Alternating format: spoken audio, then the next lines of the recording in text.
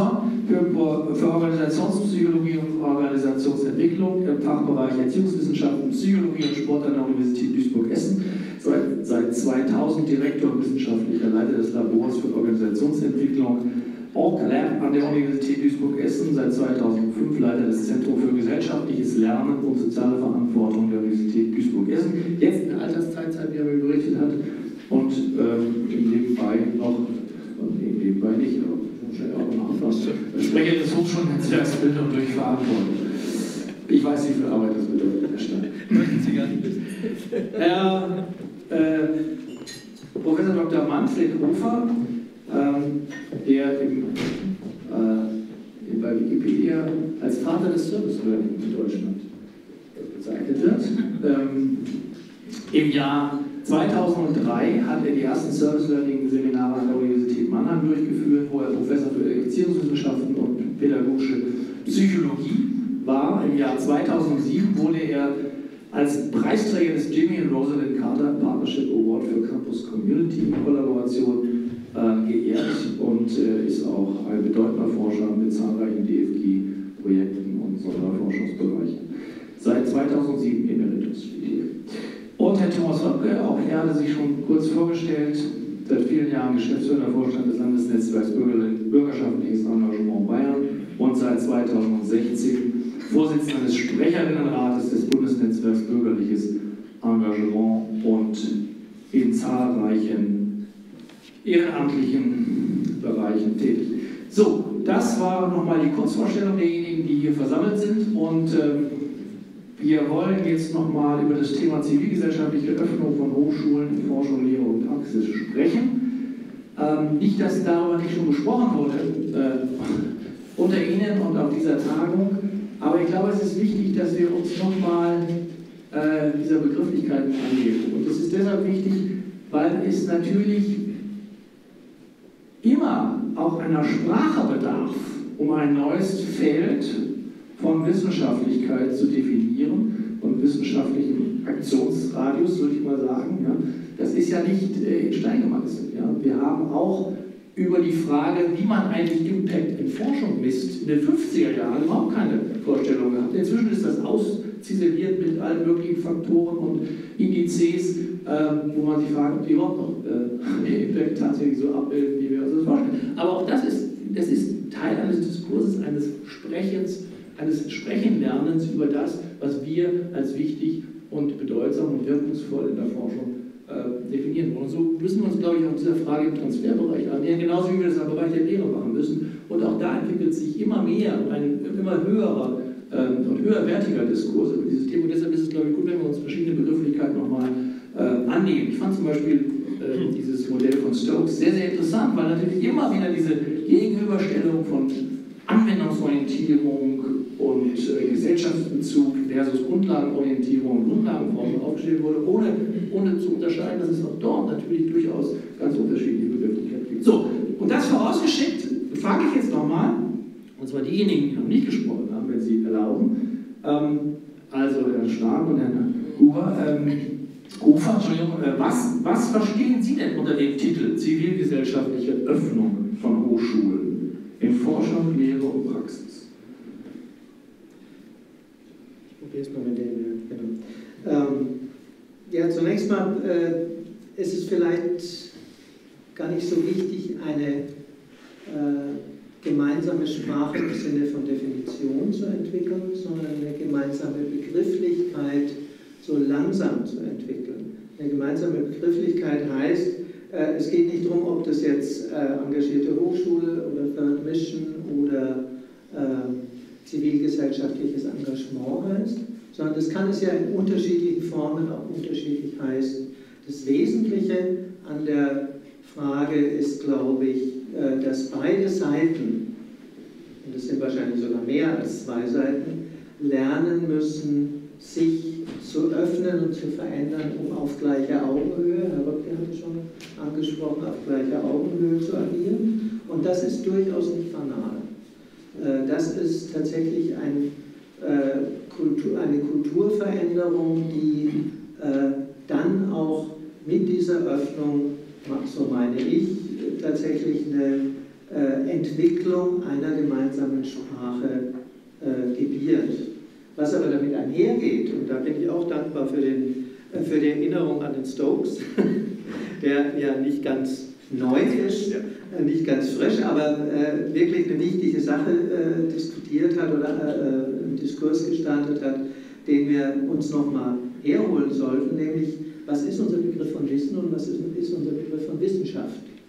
Äh, und ich glaube, ein wesentlicher Teil ist, dass wir ähm, von unserem Begriff des kanonisierten Wissens uns weiterentwickeln müssen in Richtung eines Wissens, das von beiden Seiten auch kommt. Wir sprechen viel von Erfahrungswissen, äh, wir sprechen viel von implizitem Wissen und da kommen ein paar Grundlagen her, die in Deutschland nicht so bekannt sind wie äh, die Philosophie von John Dewey, äh, die glaube ich, da nicht als einzige, aber nochmal wichtige Hinweise gibt, die den Bereich deutlicher definieren können. Aber ich würde sagen, das ist ein äh, Work in Progress und äh, ich bin immer etwas erschrocken, wenn äh, etwas zu früh in diesem äh, Bereich, den ich eher als explorativ bezeichnen würde, schon Definitionen und vielleicht sogar schon, wie letztens geschehen, Kennzahlen entwickelt werden für eine äh, Bilanz der Third Mission und so weiter.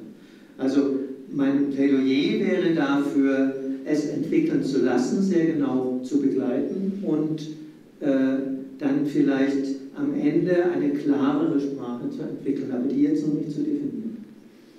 Aber lassen Sie mich nochmal nachfragen. Ja. Die Frage ist, warum sollte Wissenschaft das tun? Und zwar nicht, weil es die Bischofskonferenz der Universität Eichstätt hineingeschrieben hat und nicht, weil es die Landesregierung als vierte Aufgabe der Hochschulen definiert oder als dritte Aufgabe, sondern wie würden Sie das aus Seiten, ja, aus, aus einem neugiergetriebenen Wissenschaftlerleben her definieren? Was gewinnen Sie in einer neuen Art und Weise der Generierung oder Integration von, wir haben es gesagt, Wissensbestandteilen der Gesellschaft in, in das, was Sie tun? Naja, eine ganze Menge. Wenn ich als Organisationspsychologe, Organisationswissenschaftler antworten sollte, dann würde ich sagen, ich gewinne eine Menge an äh, Wissen aus den Bereichen äh, der äh, Entrepreneurship, der Start-up-Entwicklung, weil ich sehe, dass die ganz anders mit Führung und mit Organisation und dem Prozess des Organisierens umgehen. Das kommt alles aus der Praxis. Das ist noch gar nicht Third Mission im Sinne von Zivilgesellschaft. Ähm, aber wenn ich mir angucke, äh, gestern äh, hat äh, Elif Östman über die, die arabische Revolution gesprochen und die Entwicklungen, die da passiert sind, dann sind es auch Entwicklungen, die Wissenschaft niemals vorhergesehen hat. Ganz selten. Die zwar getrieben wurden und die begleitet wurden, aber die nicht wirklich,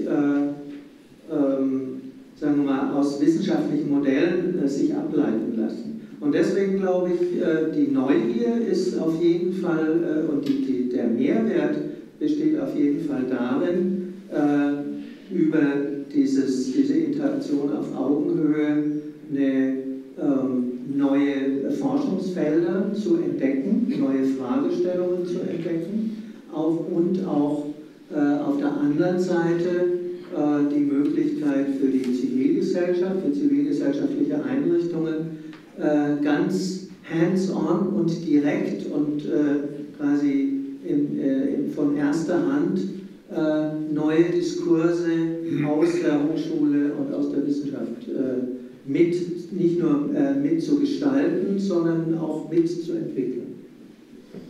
Vielen Dank. Herr Hofer, wie würden Sie die Frage beantworten? Bedarf es einer zivilgesellschaftlichen Öffnung der Hochschulen? Waren sie bisher verschlossen? Und warum ist das gut für die eine oder andere Seite? Ja, jetzt, ähm, in meiner Google-Liste haben Sie zunächst mal nach der Begrifflichkeit gefragt und jetzt aber auch nach der Begründung. Ähm, zunächst mal zur Semantik.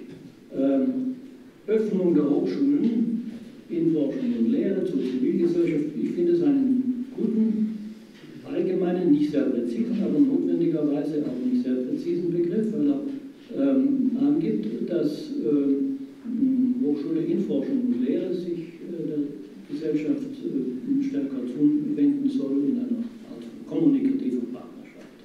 So, ähm, was ich hasse, sind andere Begriffe, die hier permanent im Raum äh, stehen, Engagement und Mischen und innovativ, das sind alles Selbstzuschreibungen meistens, ähm, die der Selbsterhöhung dienen, äh, der Schmeichelung der eigenen Seele, die äh, aber äh, begrifflich wertlos sind. Ich würde die am besten streichen aus meinem Vokabular und den Begriff Mischen schon gar nicht.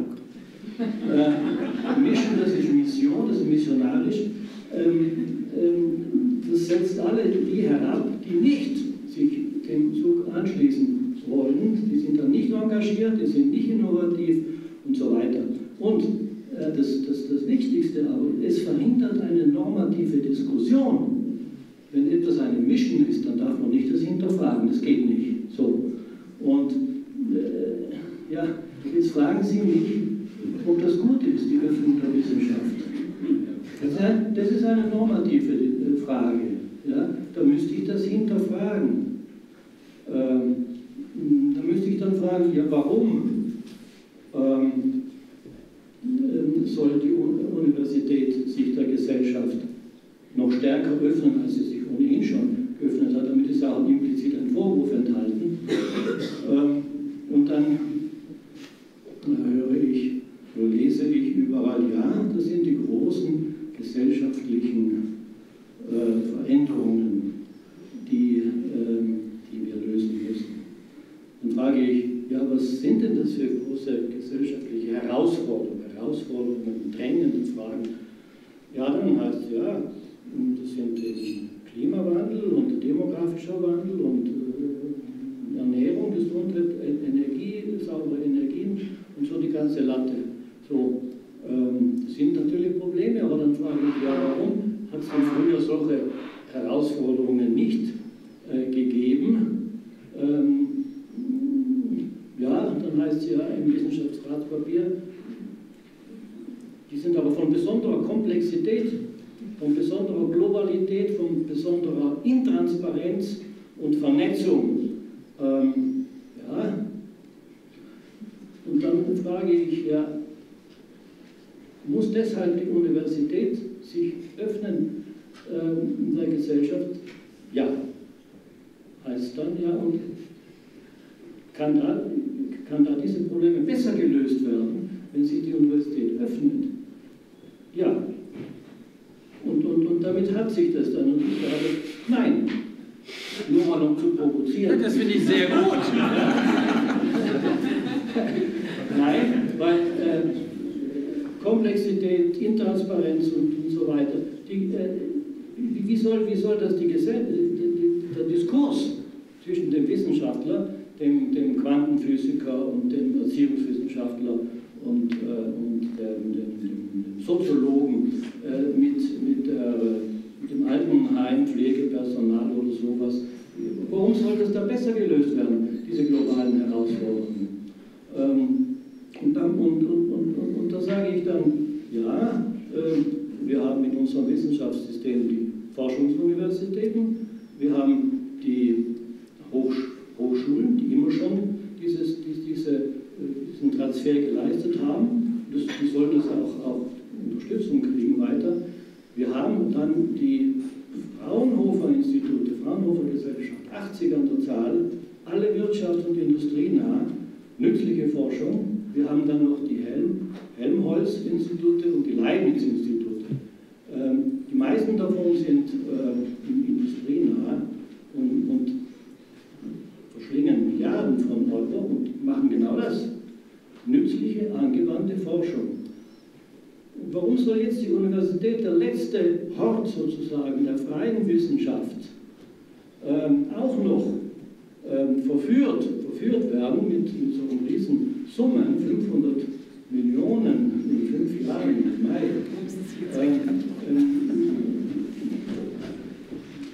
das, das, äh, ähm, das möchte ich bezweifeln. So, reicht es erstmal. Jetzt hat die Diskussion erst richtig begonnen. Jetzt hat sie erst richtig begonnen. Ich bin Ihnen sehr dankbar für diesen Beitrag, aber jetzt glaube ich ein bisschen äh, begriffliche Spielmasse haben. Also, erstens mal bin ich Ihnen sehr dankbar für den Hinweis darauf, dass das alles Selbstzuschreibungen und normative Setzungen sind. Ne? Ähm, gleichzeitig denke ich, dass Sie auch was normativ gesetzt haben, nämlich freie Wissenschaft gegen unfreie Wissenschaft. Wissenschaft, die sich mit der Gesellschaft verwandelt, wird unfrei. Entschuldigung, aber so haben wir es erfunden. Aber ja, das können wir ja jetzt diskutieren. Also, und, aber Sie haben die entscheidende Frage gestellt. Die entscheidende Frage, und das möchte ich nochmal in die Runde geben. Eine solche Partnerschaft, durch eine solche Kooperation, wenn sie gelebt wird, die Gesellschaft verbessert werden? Oder die Lehre verbessert werden? Oder die Forschung verbessert werden? Das sind die drei Gretchenfragen. Wenn wir das nicht beantworten können, können wir das Ganze vergessen. So, jetzt, okay. Ich würde jetzt, nachdem ich ja mit missionarisch schon angesprochen worden bin, ähm, Sie sind ja katholisch. Das ist vollkommen okay. Nicht jetzt darauf referieren, dass ähm, Gesellschaft oder Uni verbessert werden kann, aber ich sehe eine ganz neue Chance. Und ich sehe auch, Sie haben jetzt von der zweckfreien Grundlagenforschung gesprochen, als eine Universität, die jetzt vor allem auch geisteswissenschaftlich ausgerichtet ist, sehe ich eine enorme Verantwortung, sich auch solche Fragen zu stellen. Ich sage Ihnen mal ein Beispiel. Bei uns, wir haben nebenan eine eine ähm, THI, eine Technische Hochschule in Ingolstadt, die beschäftigt sich mit ähm, Automobilen, Fahrsystemen, selbstgesteuertes Fahren und so weiter. Es war bis lange ähm, eine Universität, die natürlich in der angewandten Forschung ist, die sich genau mit den systemischen Fragen beschäftigt hat. So, warum brauchen die jetzt uns als geisteswissenschaftliche Universität? Weil jetzt zum Beispiel ethische Dilemmafragen auftreten. Was macht ein Fahrsystem, wenn links die Oma steht und rechts eine Mutter mit fünf Kindern? Ähm, was bedeutet das? Was bedeuten emotionale Stimmungen im Kontext und, und so weiter? Und jetzt sind wir so weit, dass unsere Psychologen, die sich auch immer der zweckfreien Grundlagenforschung ähm, verschrieben haben, jetzt mit der THI zusammen hochspannende Projekte entwickeln in dem Bereich. Und deswegen sehe ich eigentlich das, was vorher bei Ihrer Folie auch nochmal war, die Rückwirkung auf die Universität. Wir werden nicht die Probleme lösen können, aber wir können mit einem Teil des Wissens dazu beitragen und umgekehrt generieren wir doch ganz andere Wissens- und Forschungsfragen. Keiner sagt uns ja, wir müssen genau in diesem Feld ähm, jetzt als Auftragsforschung fungieren, aber wir haben ein ganz anderes Portfolio an Forschungsfragen, als wir sie hätten, wenn wir nur, ich benutze jetzt nochmal Ihre Metapher, im Elfenbeinturm forschen.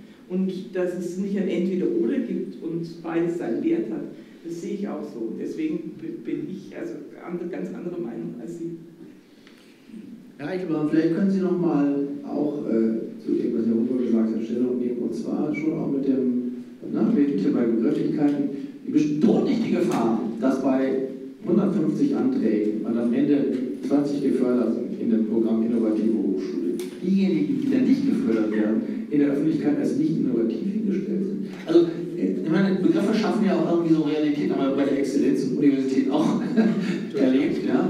Ähm, also, ist das nicht eine gewisse Gefahr im Sinne dessen, was Herr Hofer geschrieben hat, dass man sozusagen irgendwie damit auch so eine Normativität prägt, die dann möglicherweise in der Öffentlichkeit und auch in der, in der Scientific Community ja, auf, auf Kopfschütteln stößt?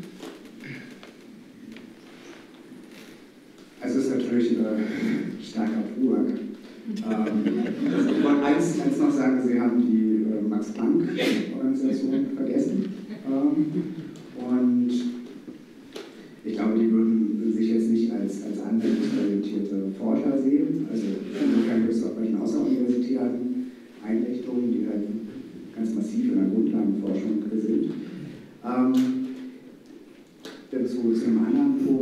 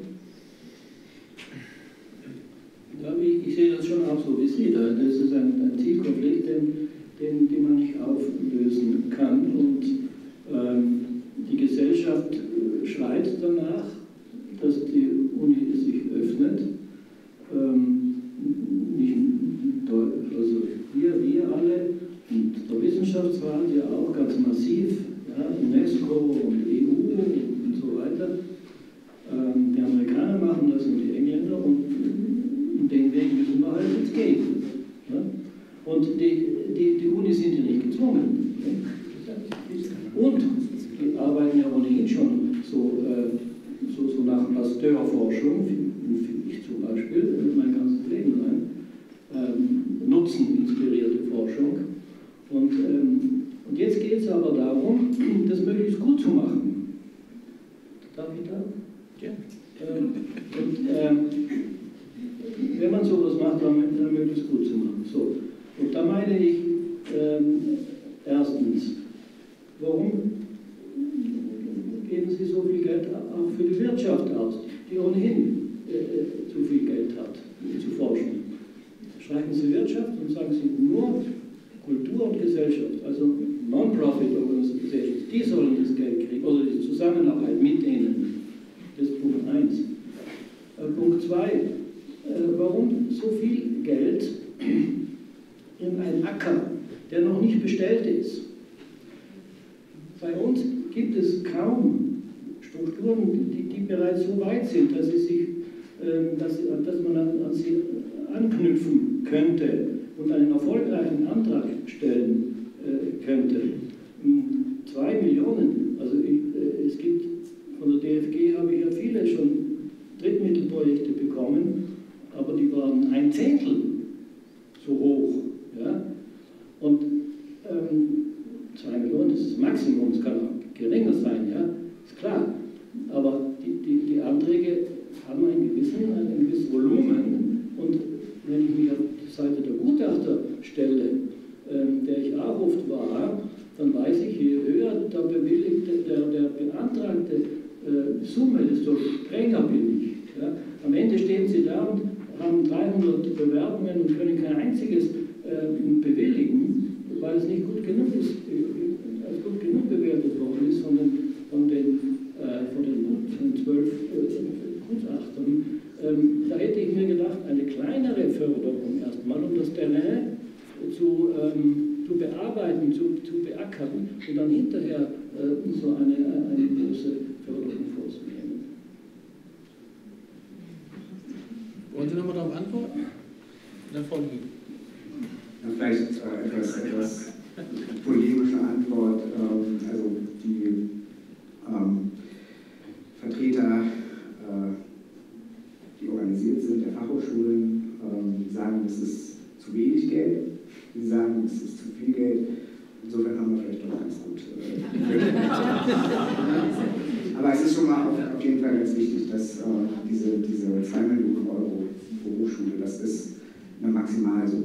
So. Und ähm, wir haben auch immer überlegt, kann man das irgendwie abstufen nach irgendwelchen Kriterien und so weiter, äh, dass man sagt, dann dürfte nur so und so viel, ähm, damit sich keiner überfordert. Aber letzten Endes, man kann nur sagen, es ist 0 bis 2 Millionen ähm, in, in, dieser Skala, ähm, kann man die Anträge stellen. Und es ist natürlich klar, dass das auch von den Wissenschaftsdisziplinen sehr, sehr unterschiedlich ist. Auch in den technischen Wissenschaften, ähm, wo man halt Laborausstattung braucht, ist zwar jetzt nicht zentraler Fördergegenstand der innovativen Hochschule, aber da braucht man einfach mehr Geld als in, in manchen anderen Disziplinen, wo man halt eher den, den Kopf braucht. Und insofern, das, also diese zwei Millionen wirklich als Obergrenze zu verstehen sein. Und es ist natürlich auch so, ähm, uns ist natürlich schon bewusst, dass wir viele Hochschulen ich nenne es mal etwas prosaisch, auf den Weg abholen. So. Also wir setzen, und ich glaube, da, da sind sie vielleicht die Hochschulen schlechter, als sie sind, ähm, dass dort doch viele Strukturen und Erfahrungen im Bereich Transfer, Submission und so weiter vorhanden sind. So. Und, und die adressieren wir. Und man möchte natürlich schon mit der Förderung einen Mehrwert erreichen. So, also, ähm, also dieses Potenzial, was die Hochschulen haben, das, das wollen wir halt auch adressieren. Insofern ist es jetzt nicht so diese typische äh, Exzellenzmaßnahme, wo man die, die allerbesten, die schon quasi schon sehr, sehr gut sind, ähm, wenn die den Mehrwert darstellen können, ist das auch okay. Aber es soll schon auch die äh, Klasse an Universitäten und Fachhochschulen adressieren, die halt aufzeigen können, dass sie halt mit der Förderung äh, tatsächlich etwas, etwas bewirken können. Und dann werden wir mal sehen, was, was, was da rauskommt. Also erstmal bin ich froh, dass Sie schon ausgeschrieben haben, sonst würde es vielleicht nochmal anders ausschauen von den Fördersummen. Nee, um, bei ihrer, um bei Ihrer Metaphorik des Ackers zu bleiben, ich glaube, genau deshalb braucht es andere Mittel.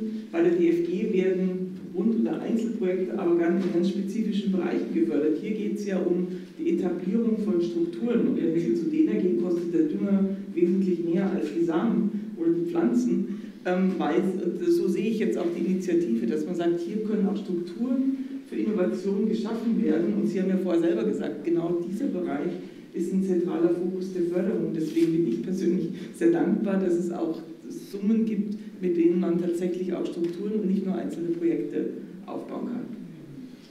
So, jetzt aber zu Herrn Rück. Ähm, Rück, Sie müssten sich ja vor Anfragen gar nicht mehr retten können jetzt. Ne? Also alle Hochschulen sind jetzt auf dem Weg, Anträge zu schreiben. Da brauchen Sie zivilgesellschaftliche Partner oder jedenfalls Partner aus der Gesellschaft. Ich habe eher den Eindruck, man setzt sich jetzt hin und guckt mal, was man der Gesellschaft Gutes tun kann. Also ist das so? Erleben Sie das? Erleben Sie aktuell oder in den letzten Jahren eine Öffnung der Hochschulen für zivilgesellschaftliche ja, Partnerschaften?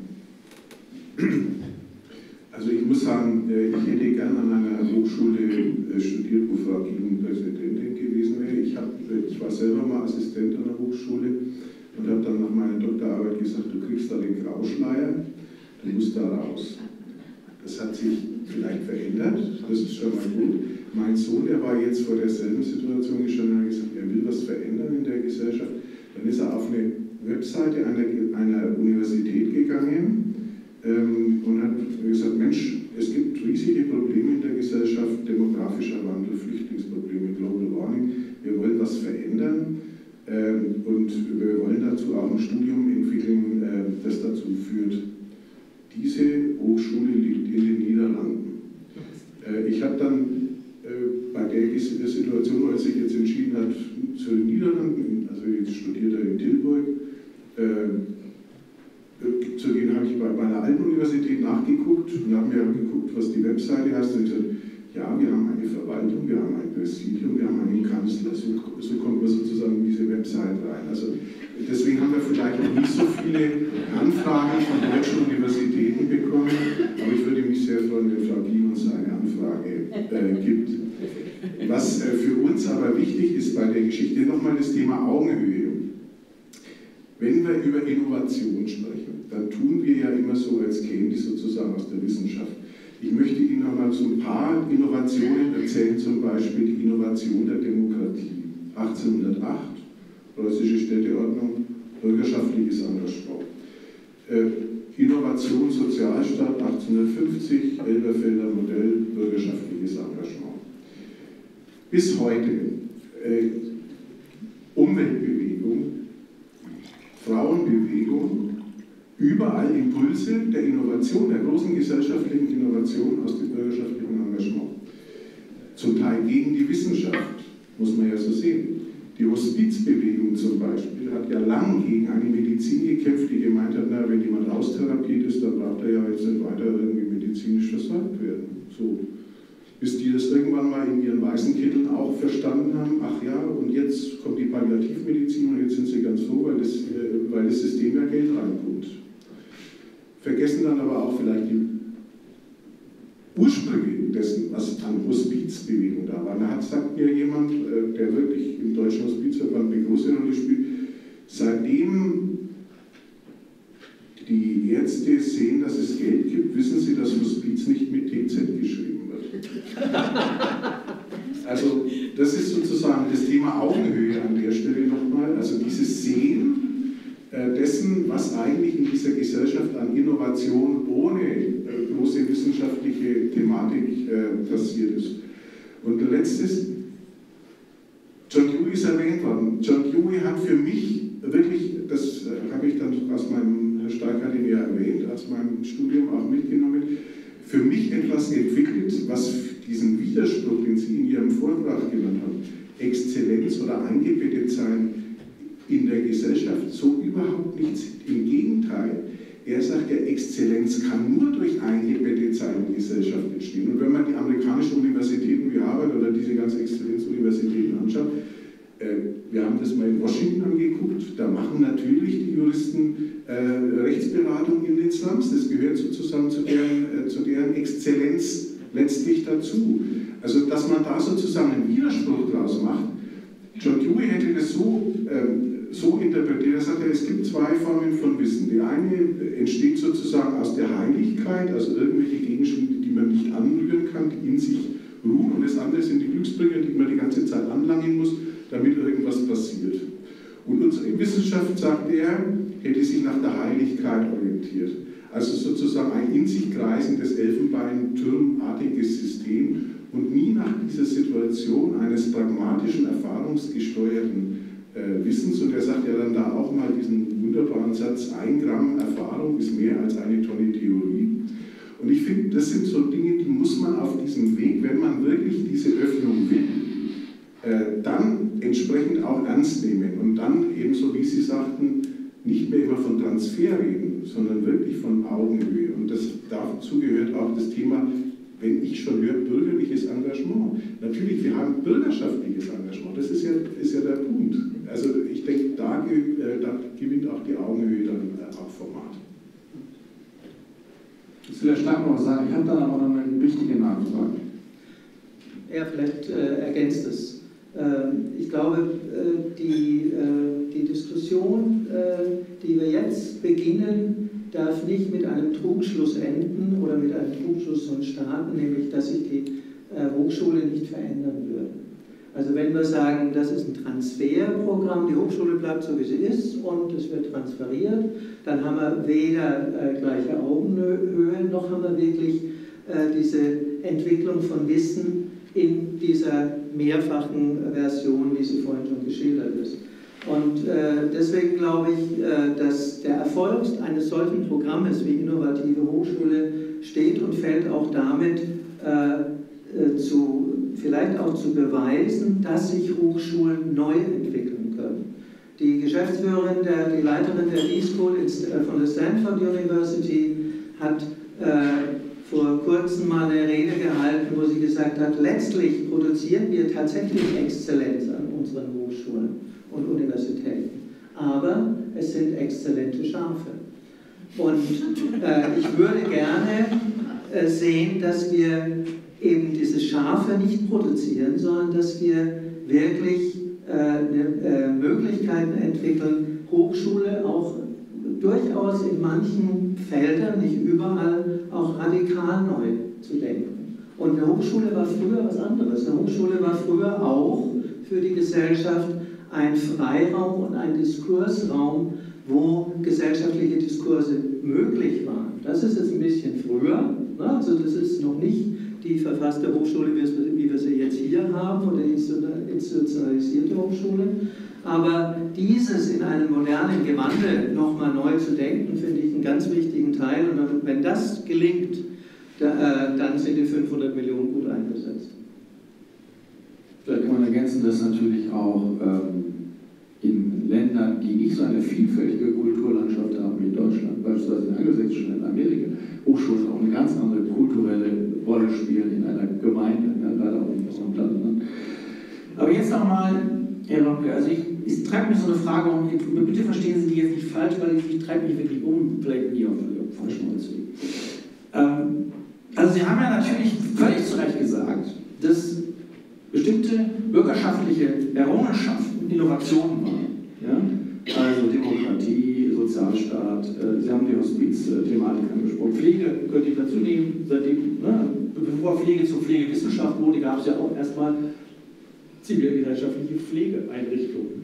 So, ähm, aber ist es nicht auch so eine gewisse, eine gewisse Gefahr des Kurzschlusses, dass man bürgerschaftliches Engagement nur mit dem hehren Guten verbindet? Was ist denn jetzt, wenn plötzlich die Bürgerschaft auf Holzwegen ist? Also in Amerika oder in Dresden. Ist es dann noch Zivilgesellschaft? Ist das kein Engagement mehr? Also ich will nur sagen, dahinter steckt ja doch immer auch was Normatives. Und plötzlich sind neue Normen, aber die gleichen Aktionsformen. Und sind das jetzt andere Player? Also man muss ja jetzt mal so sehen, es gibt in Deutschland 30 Millionen Menschen, die engagiert sind. Also es geht jetzt nicht um die Couch Potatoes, es geht nicht um die Menschen, die nur am Stammtisch sozusagen äh, vor sich hin äh, simmern. Ähm, und natürlich gibt es auch eine dunkle Seite dieser Zivilgesellschaft. Also ich will jetzt Pegida äh, kleinreden. Auch, auch das äh, ist aber auch ein ganz wichtiger Indikator für unsere Gesellschaft, dass sich das sozusagen auch auf der Straße zeigt, äh, damit zumindest als Phänomen äh, ähm, äh, diskutabel wird. Aber wir müssen einfach sehen, auch jetzt zum Beispiel in dieser ganzen äh, Thematik äh, Flüchtlingen und so weiter, die riesengroße Menge des bürgerschaftlichen Engagements liegt sozusagen auf der guten Seite der Gesellschaft in Anführungszeichen. Also die bemühen sich um Integration, die bemühen sich um Ankommens- und Willkommenskultur. Und äh, wenn Sie äh, so ein Phänomen sich anschauen, äh, wie in Zaneding, äh, wo dieser schwarze Fahrer angegriffen worden ist wo plötzlich Tausende äh, sozusagen plötzlich dastanden und gesagt haben, das geht nicht. Äh, und dann vergleichen zum Beispiel eine Gesellschaft wie in Heidenau, wo sowas nicht passiert, dann kann man sich ja darüber auch einmal fragen, welche Tradition von Zivilgesellschaft liegt dem Ganzen zugrunde.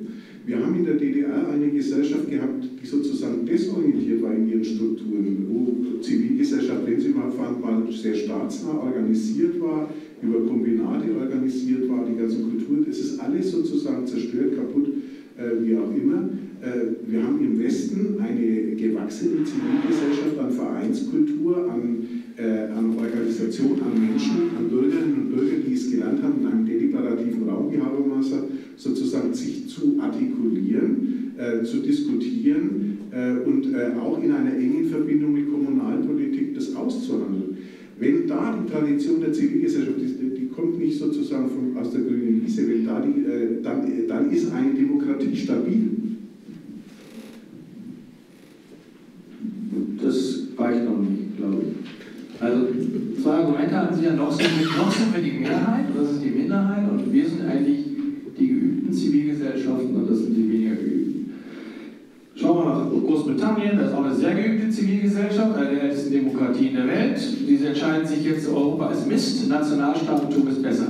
Ist das jetzt die bessere zivilgesellschaftliche Bewegung oder die schlechtere? Also ich würde nur sagen, das wird sich irgendwann ausmänteln. Es gibt einen herrschenden Diskurs und dann gibt es einen der auf der Straße ausgetragen werden muss, weil er nicht herrscht. So. Und jetzt, und das wird spannend. Ja? Bisher war das immer ziemlich gut verteilt. Also einen Satz möchte ich dazu sagen.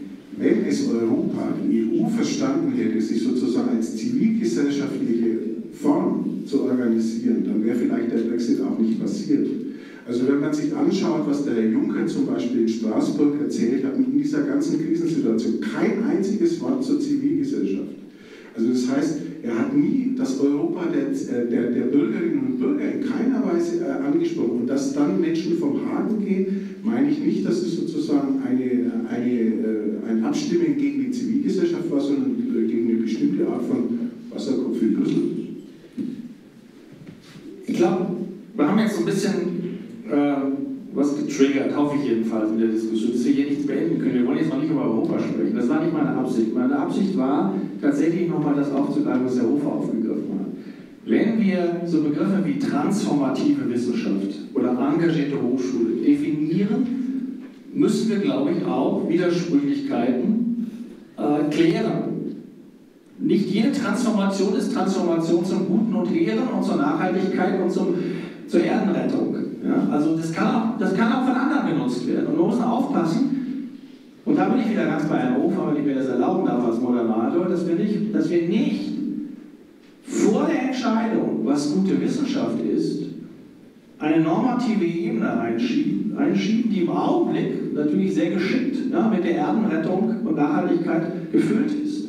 Ja, wir müssen uns der, den großen sozialen und globalen Herausforderungen. Die kann auch ganz anders gefüllt sein. Ne? indem andere Normenfüller diese, diese Normen setzen. Und dann haben wir wieder das Problem, was macht die Wissenschaft jetzt? Also wir sind da nicht weit.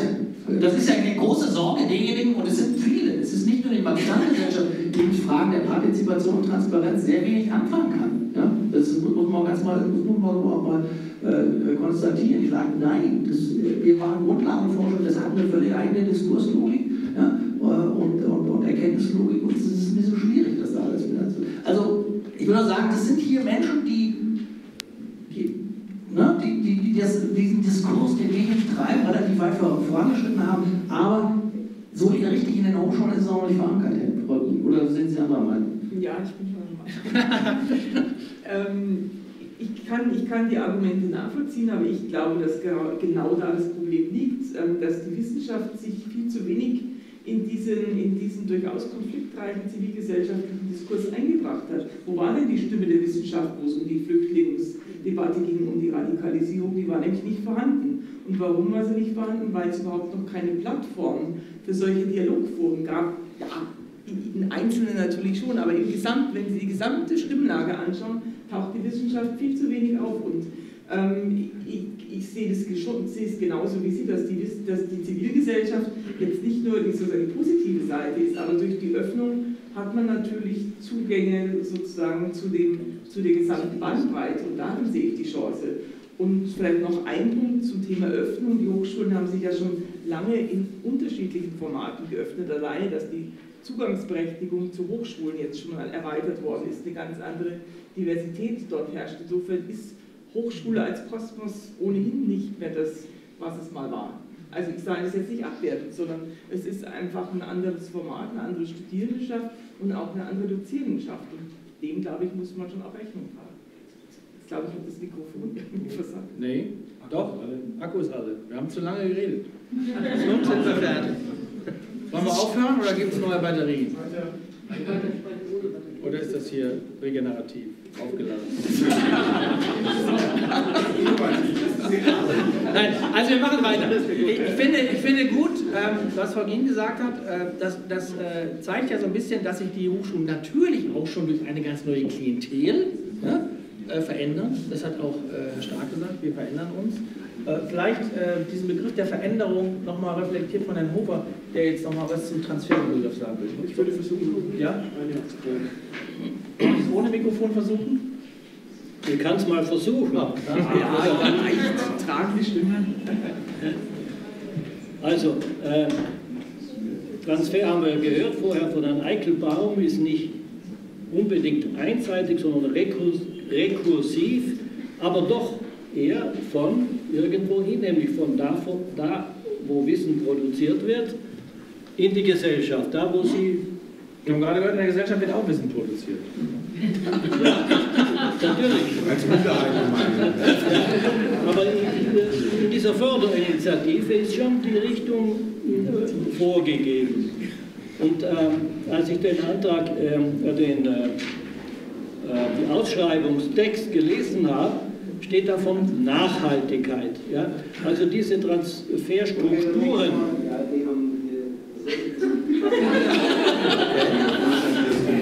Jetzt diskutiert die Zivilgesellschaft mit. Die äh, Strukturen, die da aufgebaut werden sollen, das ist, das ist, Kann man das ausmachen?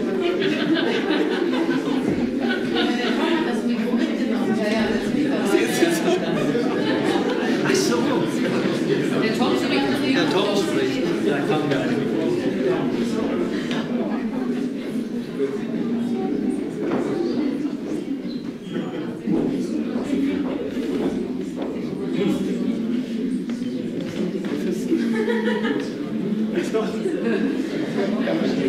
Jetzt habe ich es hab leise gemacht, weil man euch gehört hat hier so.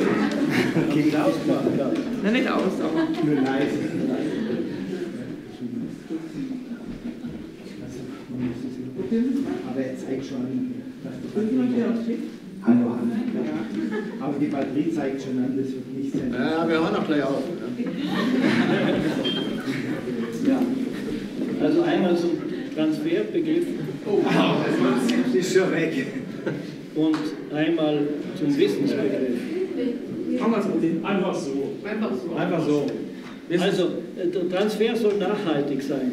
Und jetzt stelle ich mir vor, dass es ähm, äh, an der Quelle, entschuldigen Sie, Herr Röpke, ähm, äh, Wissen produziert wird von einem Lehrstuhl ja, und ähm, am Ziel eine, eine gemeinnützige Organisation äh, steht, zwei oder so.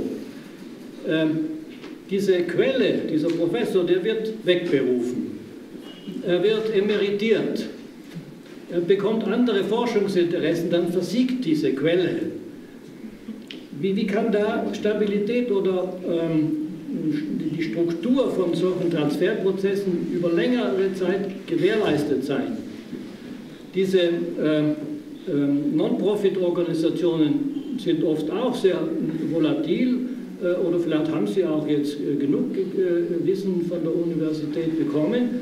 Ähm, sind da, ist da überhaupt das ist ein, ein, wichtiges Kriterium, die Nachhaltigkeit. Das, das habe ich mir überlegt, als ich das gele gelesen habe.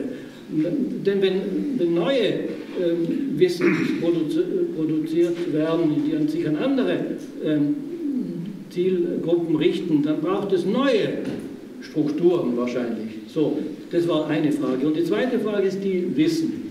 Es geht ja um, um, um den Transfer Wissen, ähm, äh, Ideen und Technologien. Nicht? Also in meinem Verständnis äh, produziere ich als Wissenschaftler Erkenntnis, äh, Wissen und das ist, kann, kann äh, relevant sein oder, oder, oder nicht relevant. Ähm, wann ist es relevant? Und wie kann ich das so ähm, gestalten, dass es für den Praktiker, äh, für den ja, äh, nutzbar ist? Und, und äh, dieser Stokes, ähm, der legt nahe, äh, oder eine handlungstheoretische Betrachtung legt nahe, zwischen verschiedenen Wissensarten zu unterscheiden.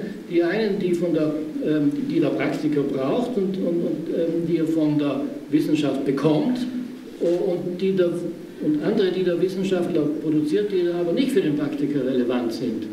Und da gibt es in der klassischen, äh, klassischen Vorstellung von dem Mario Bunge, äh, dass ein, ein Wissenschaftler äh, Wenn-Dann-Theorien also formuliert, die dann praxisrelevant sind, wenn die Dann-Komponente identisch ist mit dem Ziel des Praktikers.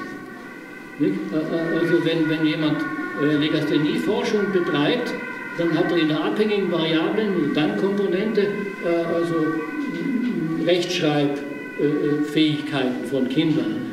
Und er sucht nach der Wenn-Komponente, nach Bedingungen, Ursachen, diese. Und, und das Ergebnis sind dann Wenn-Dann-Theorien, also nomologische Aussagen. So, äh, ähm, der Praktiker hat ein Ziel, hat also normative Vorstellungen äh, und er braucht aber operative Hinweise. Und, und da nutzt ihm die nomologische Theorie zunächst mal nichts. Es sei denn, äh, man ist in der Lage, aus der Wenn-Komponente, der Ursachenkomponente, eine, eine Handlungsanweisung, eine, ja, einen operativen äh, zu, zu gewinnen. Und das ist dieses Bungeschema. Äh, der Praktiker braucht aber auch noch diagnostisches Wissen, um seine Situation zu klären und seine Ziele zu überprüfen. Er braucht noch institutionelles Wissen. Ähm, so, äh, dazu kann die Wissenschaft nichts äh, beitragen.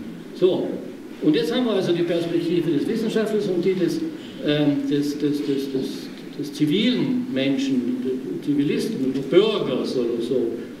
Äh, und da stelle ich mir diesen, wie, wie, haben Sie vorher gesagt, Agenten, Transferagenten vor, der beide Perspektiven kennt und aus der Perspektive des, des, des, des gesellschaftlich, äh, gesellschaftlichen Menschen ähm, und aus der Perspektive des Wissenschaftlers nach dieser, ähm, nach dieser Transformationsmöglichkeit sucht.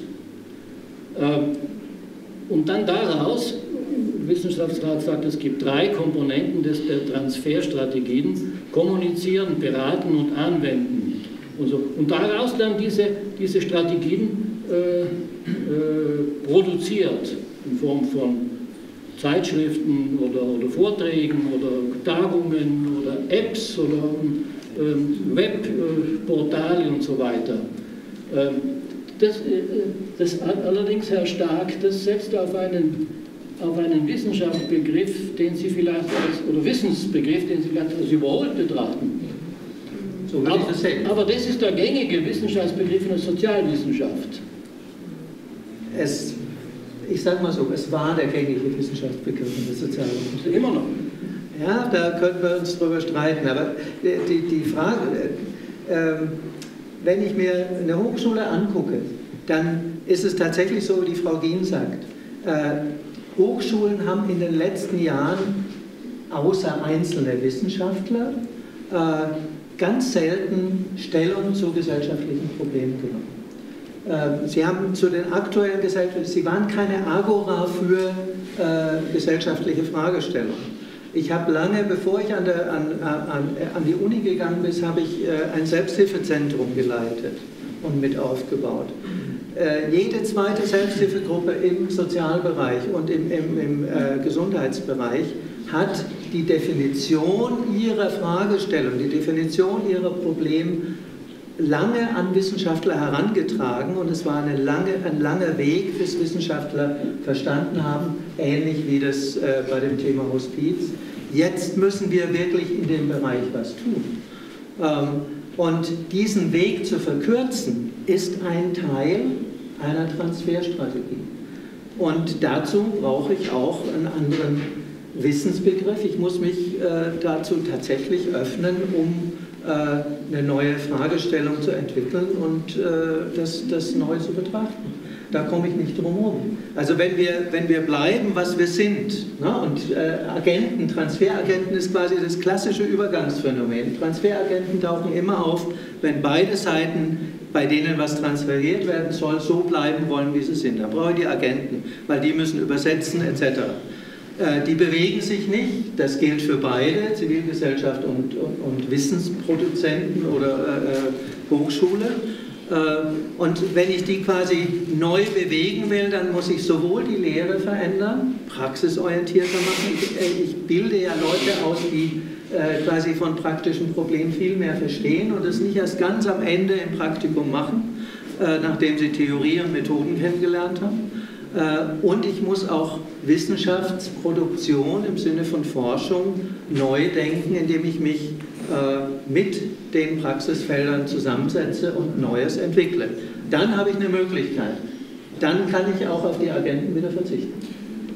Ich schlage vor, dass wir jetzt mal einen Transferagenten, nämlich den Herrn Sporer, der sich eh gemeldet hat, und dann kommen wir zur nächsten Meldung, mal diese Auseinandersetzung jetzt reflektieren lassen. Warum bedarf es einen Transferagenten? Was tut er und wann kann man ihn wieder abschaffen? Das kann man nicht schlecht. Also, wann man ihn wieder abschaffen kann, lasse ich offen. Ich denke, es gibt einen Bedarf und ich denke, der Transfer ist wirklich auch in dem Sinn gemeint, wie Gien in den Folien hatte. Dass ein Transfer innerhalb des Hochschulsystems zwischen den verschiedenen Leistungsdimensionen stattfindet. Ich denke, das ist ein wichtiger Punkt, um da auch Innovation entsteht ja sozusagen an den Schnittstellen von Systemen. Das, das wissen wir an der, an, der, an der Peripherie und wo sich Communities zusammentreffen. Auch die Diskussion heute hier ist ja etwas, da wird jetzt Neues befördert, weil unterschiedliche Perspektiven zusammen können, weil hier Diversität miteinander spricht. Also das, denke ich, ist ein wichtiger Punkt und das ist ein großes Potenzial innerhalb der drei Leistungsdimensionen der Hochschule. Und dann gibt es natürlich noch den Transfer des Hochschulsystems mit der Umwelt. Und insofern, wir können vielleicht noch den Agentenbegriff verhandeln. Weil ob es jetzt ein Doppelagent ist oder ein rekursiver. Genau, also vielleicht liegt da. Agent provocateur. Ja, genau. Aber was ich nochmal bei der Diskussion spannend fand und wo ich aufgehört habe, das war diese Quelle des Wissens. Und das kommt mir vor, das ist das müsste man vielleicht nochmal überdenken, weil ob das wirklich nur eine Quelle des Wissens ist, hat man ja auch in den Wissenschaften über viele Jahrhunderte so eine Idee verfolgt. Aber wir haben ja heute auch viele Quellen des Wissens, die sowohl im Wissenschaftssystem als auch in der Zivilgesellschaft, auch, als auch in der Wirtschaft und anderen Systemen sehen. Das sehen wir ja zum Beispiel bei dem technologischen Innovationserfolg in den, im Silicon Valley oder so. Die Innovation entsteht auch außerhalb der Hochschulen und die Hochschulen haben durch Transferagenten oder was auch immer gelernt, voneinander zu lernen. Und ich glaube, das ist so eine ganz wichtige Idee. Und das mit den Quellen des Wissens, das finde ich auch nochmal mit dem Rückgriff auf die europäische Forschungspolitik einen interessanten Punkt, wenn man zum Beispiel Helga Rodney folgt, die jetzt ein Buch geschrieben hat, Uncertainty of Certainty, nein, the, Certainty of Uncertainty, glaube ich, heißt das Buch. Da hat sie auch so eine Leitidee war, dass man sozusagen zu den Quellen des Wissens auch hinstrebt. Also, dass man sozusagen den Fluss abwärts schwimmen muss, um zu weiterer Erkenntnis kommen. Das finde ich auch eine ganz, ganz gute Idee nochmal mit, mit der Quelle. Aber dass es nur eine Quelle gibt, das würde ich bezweifeln und würde ich nochmal zur Diskussion stellen. Vielen Dank. Ich glaube, das war ein ganz wichtiger Hinweis, dass wir, äh, dass wir diese Dinge auch nochmal, ich glaube, man muss ja auch in den einzelnen Fächerkulturen klären. Vieles, was gesagt wird, stammt aus dem Hintergrund der eigenen Sozialisation und Entkulturation in dem Fach, in dem man gelehrt und gelebt hat. Ja? Also, wenn Sie, wenn Sie Informatiker fragen, wo heute die Quelle des Wissens der Informatik ist, ein Informatiker aus Stanford hat mir gesagt, wenn ich wissen will, was im Augenblick in der Informatik abgeht, dann muss ich zu Intel oder zu IBM oder zu Google. Aber noch nicht mehr in meinem Lehrstuhl, wo ich zehn Leute habe. Die können noch so, können noch, da habe ich gar nicht die Ressourcen. Da passiert das Ding, von dem ich lerne. So, das ist die Fachkultur, die besonders ist, weil da sozusagen High-End-Umschlag von Wissen ist. Und das muss, glaube ich, jeder Fachbereich neu definieren und dann auch seine Partner definieren. Ja? Also, ich glaube, ein historischer Germanist hat vielleicht andere Partner als, als ein Soziologe oder ein Pädagoge oder was weiß ich. So, jetzt haben wir aber so viele Hände gesehen, aber dann geht's los, da hinten rechts und dann gehen wir mal rüber, ja? Ja? Oh, jetzt äh, komme ich mal. Stehen Sie einfach auf. Wir sammeln vielleicht mal zwei Fragen und Sie ordnen dann. Äh, ich, spreche jetzt hier von denen, äh, wenn Sie angesprochen fühlen. Ja, bitte. Ähm, genau, ich wollte zu dem, was Thomas äh, gesagt hat, ergänzen. Ähm, es wurde auch angesprochen. Also ich finde, für mich persönlich in meiner Wahrnehmung ähm, hat vieles ist überhaupt nicht mehr zutreffend. Also die Darstellung etwa der Hochschulen und der Universitäten ähm, Eichstätt ist ein schönes Beispiel. Wir haben viele andere Anwesen, ähm, die dafür Beispiel sein können. Die wurden auch heute dargestellt. Also wir sind längst äh, raus, ähm, dass man auf den ähm, Internetseiten nur noch das Präsidium etc. findet. Ähm, wir haben das Hochschul, äh, Hochschule Nachhaltigkeit als einen großen Treiber hier in Bayern. Also da passiert ganz viel, auch an der Gesellschaft. Ähm, und eine andere Sache, die Frage ähm, wurde jetzt immer so gestellt oder von Ihnen auch so rumgestellt, lösen wir in den Hochschulen die gesellschaftlichen Probleme? Das ist sicher nicht so. Was mich wundert, ist, dass die Frage oder der Frage nicht nachgegangen worden ist, ähm, bringt es für die Hochschule selber denn die Innovation? Und da würde ich definitiv mit Ja antworten. Und da ähm, hat mir total gefehlt, dass sie differenzierter in die verschiedenen Bereiche reingegangen sind. Wir haben die Lehre. In der Lehre ist die größte Entwicklung eigentlich die Kompetenzorientierung, die stattgefunden hat. Neben der Fachlichkeit werden eben jetzt auch Kompetenzen gefordert. Und diese Kompetenzen kann man, ähm, wenn man sich damit auseinandersetzt, eigentlich nur über Praxis, über äh, Praxisprojekte letztlich dann auch erwerben. Ähm, das würde jetzt zu weit führen, das aus, aber da würde ich sagen, hier kann man ein ganz klares Ja setzen. Der zweite Bereich der Forschung, finde ich, kann man auch viel pragmatischer beantworten. Probieren Sie mal zum Beispiel in der Biologie eine Landkarte der Habitate von irgendeinem beliebigen Tier, das Sie sich auswählen können, in Deutschland zu machen. Das können Sie alleine gar nicht mehr schaffen. Citizen Science, der neue Ansatz, ermöglicht hier in der Zusammenarbeit eben genau solche Kapazitätslücken zu füllen mit Wissen, was Tom ja auch angedeutet hat, das bereits da ist. Wir brauchen die Leute nur zu fragen und sie fühlen sich geehrt. Ähm, sie sehen also, das war mehr eine Anmerkung, wo, ich, wo, wo mich einfach so der Diskurs befremdet hat. Ähm, tatsächlich so ein bisschen in die Frage mehr kommt, wäre der Transferbegriff, den ich gerne an Sie ähm, und das Ministerium nochmal richten würde. An unserer Hochschule wird der Transferbegriff rein in der, oder wird so verstanden, wie er über die letzten Jahrzehnte verstanden worden ist, nämlich rein als Technologietransfer. Ähm, ich würde gerne fragen, ob es irgendwie angedacht ist, dass das, was Sie heute hier äh, in Ihrem Vortrag ja dargestellt haben, ich konnte es leider noch nirgends finden, und würde es gerne meiner Hochschulleitung auch vorlegen, dass hier Transfer neu und anders gedacht wird. Weil ähm, unsere Hochschulleitung, unsere Hochschule und die ähm, Alteingesessenen, die verstehen Transfer als, Trans also als Technologietransfer in der guten alten Tradition. Und auch die innovative Hochschule wird in dieser Form bespielt werden, zumindest bei uns, was ich jetzt so mitgekriegt habe. Deshalb da die Frage an Sie, kommt es da nochmal zu einem Statement von Ihrer Seite, dem WWF? Ich möchte gerne zwei, zwei drei Fragen sammeln. Also merken Sie sich das vereinbaren. Dann war jetzt der nächste. Ja, ja bitteschön.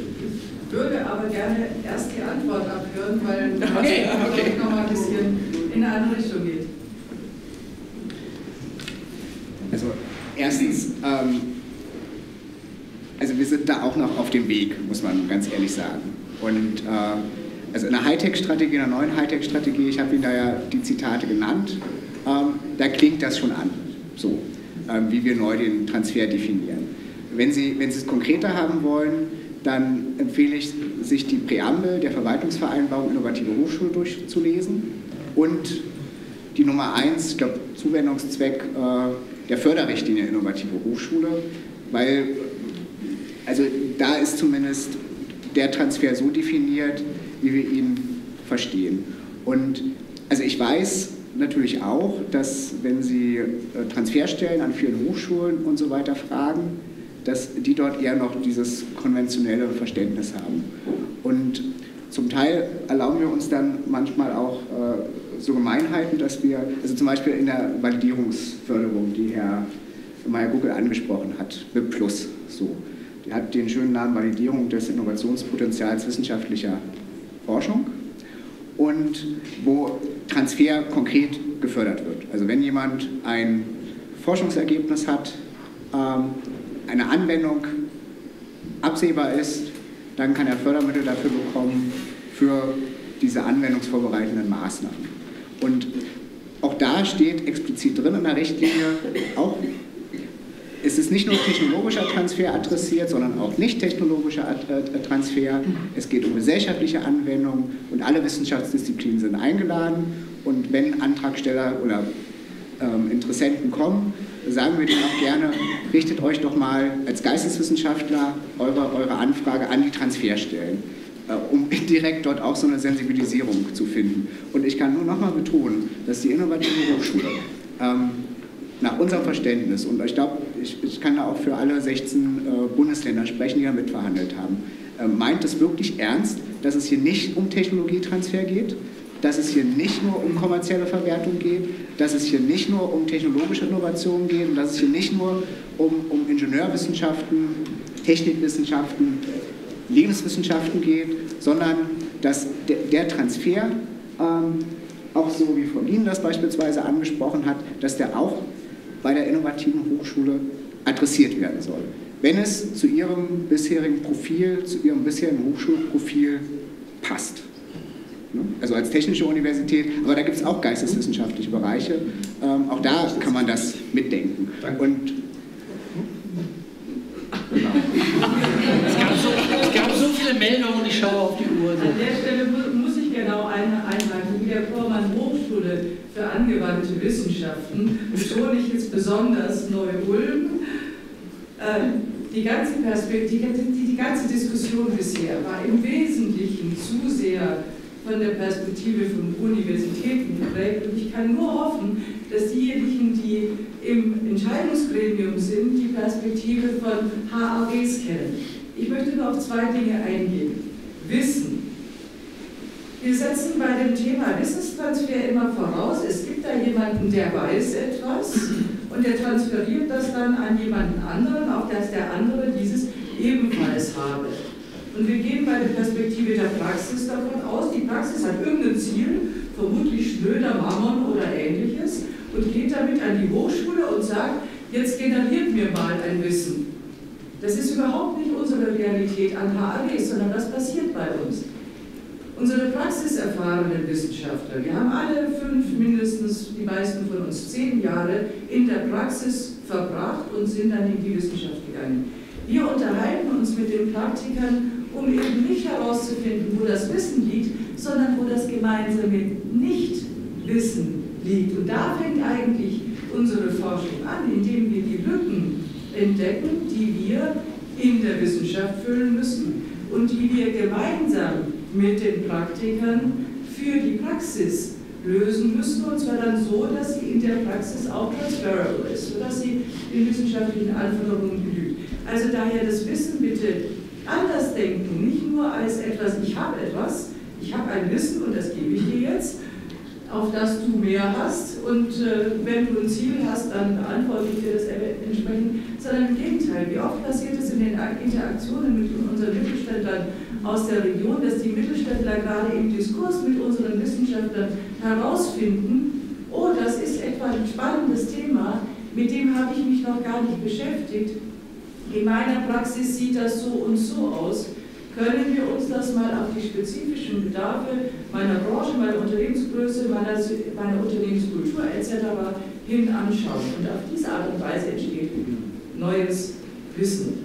Und an dieser Stelle würde ich einfach, das ich unterhalte auch gerne mit Herrn Keulich zu dem Thema, An dieser Stelle hoffe ich einfach, dass in der innovativen Hochschule dann dieser, dieser andere Art des Austausches, den wir an den HAWs, an den Hochschulen für angewandte Wissenschaften, mit unseren Kooperationspartnern sowohl in den zivilgesellschaftlichen Organisationen als auch in der Wirtschaft äh, pflegen, dass der hier auch berücksichtigt. Also anderer Begriff von Wissen.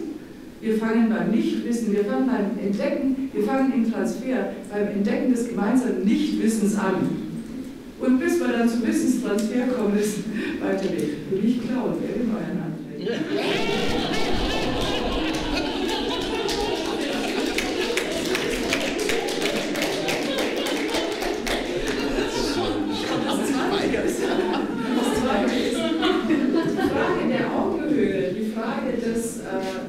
Also die Frage der Öffnung der Hochschulen stellt sich für uns nicht.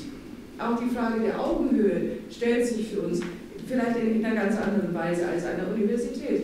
Bei uns stellt sie sich auf eine andere Art und Weise. Bei uns ist eher das, die Problematik, und da finde ich schön, schön, dass Sie gesagt haben, viele, wir haben ja mit vielen akademisch gebildeten Familienunternehmern, mittelständischen Unternehmen zusammen dass hier diese spannende Interaktion zwischen den akademisch gebildeten Praktikern und den praktisch gebildeten Akademikern, auch nicht klauen, dass die hier bei uns zustande kommt. Und ich hoffe, wie gesagt, dass das eigentlich die, die Richtung ist, in die Sie gehen wollen. Danke.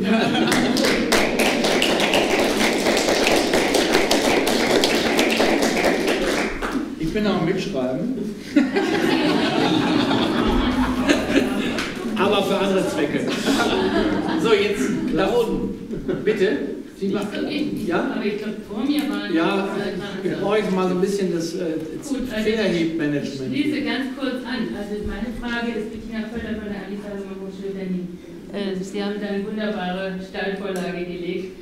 Meine, wenn Sie sagen, BMBF möchte ja auch lernen aus dem ganzen Prozess, meine Frage ist wirklich, ob der Transferbegriff nicht wirklich inzwischen dann missverständlich ist weil er wirklich suggeriert, dass es diese lineare Bewegung gibt, auch wenn da rekursiv davor steht, ob es nicht wirklich um Austausch geht, also diskursiver Austausch oder dialogischer Austausch.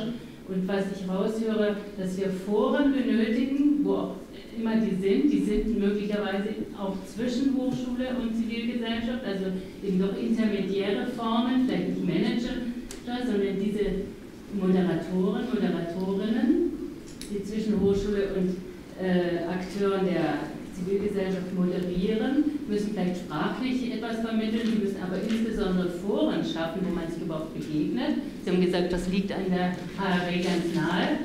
Also das würde ich auch so unterstreichen und dennoch äh, finde ich, muss dann in der Begrifflichkeit auch nochmal was getan werden, nachgesteuert werden. Und letzter Punkt, wenn Sie äh, sagen, Sie vermitteln das ganz oft. Wir hatten ja auch ein Gespräch, Sie haben es auch wunderbar im Vortrag dargestellt. Ich höre das sehr wohl raus mit den sozialen Innovationen und so weiter. Gleichwohl, wenn das in der Hightech-Strategie verborgen ist, dann ist da auch was noch nicht so richtig transparent. Und ich habe ein ähnliches Problem wie Sie. Wir haben ja, wir stellen einen Verbundantrag und haben eben mit technischen und Wirtschaftshochschulen zu tun. Und da geht es dann schon immer um die Frage, ist jetzt doch Wirtschaft wichtiger, ist jetzt doch Technik wichtiger als eure sozialen Fragen und so weiter. Also äh, da bitte ich vielleicht noch so ein bisschen nachzusteuern, weil auch immer, dass man äh, in der Begriffswahl und auch an den Orten der Vermittlung nochmal guckt, erreicht es auch wirklich alle Ohren, so wie es äh, äh, sein soll. Ja. Herzlichen Dank. Weitere Meldung. Erstmal hier vorne, dann Herr Vogel, dann gehen wir nach links. Herr Bruch von der Universität Koblenz-Landau, wobei ich vorausschicken möchte, ich spreche nicht unbedingt für unsere Universität, sondern auch einfach ganz persönlich. Äh, herzlichen Dank. Ich würde mir wünschen, dass in vielen Berufungs- oder in allen Äh, Praxisphasen erforderlich sind, auch um eine Forschungskarriere weiter äh, fortzusetzen oder vielleicht auch sogar zu beginnen. Das äh, ist meiner Einschätzung nach noch überhaupt nicht überall gegeben primär sicher an ähm, lang tradierten Universitäten. Ähm, ich würde gerne, also was, was, was mich wirklich erstaunt, das finde ich spannend, ist, ich dachte immer, Konstruktivismus wäre überholt, zum Beispiel. Ne? Und wir wären schon längst beim Konstruktionismus, vor zehn Jahren schon. Äh, damit ist der Transferbegriff quasi eines Transportes überhaupt nicht mehr vereinbar. Das kann eigentlich gar nicht mehr gehen. Ähm, was, ich, äh, was ich stärker im Vordergrund sehe, ist, ähm, dass eine stärkere Innovations- und vielleicht auch Nutzenorientierung auch in Forschungsaktivitäten, auch in Lehraktivitäten nicht entgegen der Freiheit der Lehre und Forschung entgegensteht, sondern eine riesige Chance dafür bietet. Weil ich nämlich dadurch die Möglichkeiten bekomme, auch gerade durch kooperative Settings, Perspektivenübernahme zu lernen, zu üben, immer wieder auszuprobieren und äh, dadurch meine Forschungsfragen vielleicht entsprechend auszurichten. Das haben wir ja schon mal gehört. Ähm, und ganz konkret bedeutet das manchmal, wenn ich Fragebögen ansehe und mir dann überlege, die gehen jetzt an Mittelständler oder so hinaus, ähm, wenn man nicht weiß, unter welchem ähm, Leistungsdruck man bei Quartalszahlen steht, also wenn man immer an Quartalszahlen gemessen wird. Das ist irgendwie, das ist gerade in kleineren Unternehmen einfach was, was sehr präsent sein kann. Ähm, das ist vielen Personen, die nie die Universität verlassen haben, nicht so präsent. Und insofern glaube ich, dass gerade diese Möglichkeiten der Perspektivübernahme eine wunderbare Chance eröffnen und die Freiheit von Forschung und Lehre deutlich vergrößern, als wenn ich mich dem nicht widme. Ähm, das ist mal so eine These, da kann jetzt jeder sagen, das stimmt überhaupt nicht. Die Freiheit wird eingeschränkt, weil wir haben ja eine Steuerung über Finanzmittel. Klar, das kann man sicher auch diskutieren. Aber wenn eine Hochschule so frei ist, dass sie in der Lage ist zu entscheiden, wo sie sich engagieren möchte und wo nicht, ähm, dann glaube ich, ist das ein wunderbares so zu nutzen, um diese Freiheit zu vergrößern. Und das würde ich mir wünschen, dass das auch so passiert, dass man nicht quasi äh, blind irgendwo hinterher, da ist ein neues Programm, das hat so eine tolle hohe Fördersumme, da müssen wir unbedingt rein. Kann ich auch nachvollziehen, weil Geld brauchen wir alle. Aber dass es trotzdem so gestaltet wird, dass man das für die eigenen Forschungs- und Bildungsinteressen nutzen kann. Und dass man diesen Widerspruch dadurch aufheben kann, dass man die Anträge entsprechend formuliert. Das ist ein Wunsch. Sehr schön formuliert. Vielen Dank. Herr Vogel. Ähm, ja, Michael Vogel, Hochschule Bremerhaven. Äh, auch, vielleicht auch noch ein äh, kleiner Kommentar zur, zum, zum Wording, zu, zu den Begriffen in der Tat. Ähm, bei uns in der Hochschule wird auch diskutiert, was bedeutet nun, was, was versteckt sich hinter dem BMBF-Verständnis von Transfer. Ähm, es, uns ist aufgefallen, es geht tatsächlich, also es steckt schon ein Element von Austausch mit außerhochschulischen, der außerhochschulischen Welt dahinter, aber es ist ausdrücklich die Rede von forschungsbasiertem Ideen, ähm, Technologie und Wissenstransfer und naja, dann ist irgendwie implizit dann doch wieder, die Hochschule ist, hat das Forschungsbasiertes anzubieten, die Welt draußen nicht, folglich ist es ein Transfer in eine Richtung. Ja, also das ist ähm, die, das, der zweite ähm, Begriff, der auch ein bisschen schwierig ist, finde ich tatsächlich, ist äh, innovative Hochschule. Äh, eingangs hatten Sie schon thematisiert, wer nicht zum Zuge kommt im Wettbewerb, ist da nicht innovativ. Ja, also das ist, da steckt schon eine Wertung im Programmnamen drin. Ähm, hinzu kommt, dass äh, zwar der, die Förderinitiative einen breiten Namen hat, Innovative Hochschule, ähm, sich aber auf forschungsbasierte äh, Ideentransfer beschränkt, aber, aber beispielsweise Lehre, soweit ich weiß, nicht enthalten ist, ja, die ja durchaus ähm, auch sehr innovativ sein könnte. Es könnte ja auch eine forschungsbasierte Lehre geben. Weiß ja. ich nicht, könnte es ja vielleicht mal geben, aber. ähm, und dann ein, ähm, Herr, Herr Röpke, Sie hatten jetzt eingangs in Ihrem Statement gesagt, es hat mich echt getroffen wie ein Blitz. Das war mir, also wirklich, das war so ein Moment, ich dachte, ja, logisch. Ähm, Humboldt hat hat ja die Vorstellung, dass sich Menschen an der Universität bilden, ähm, durch Forschung in Freiheit. Also ne, dann, äh, Studierende und, und, und Professoren forschen gemeinsam äh, und werden durch den kritischen Prozess mit der intensiven Auseinandersetzung mit einem wichtigen Thema, einem frei gewählten Thema, zu wahren Menschen. Ähm, dieser Freiheitsbegriff ist an Hochschulen sehr stark verloren gegangen äh, durch die Verschulung des äh, Studiums.